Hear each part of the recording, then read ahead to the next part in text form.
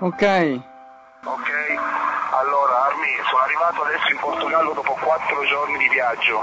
Mi sto consegnando spontaneamente alle autorità portoghesi. Non ho paura, non ho pianto sono pronto a combattere la mia battaglia.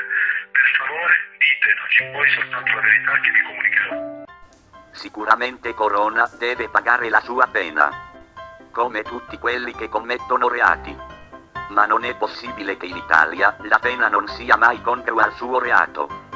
Se ammazzi qualcuno e ti giudicano non capace di intendere e volere, te la cavi con poco e niente. Se invece calpesti poteri forti facendo reati minori, ti fanno il culo.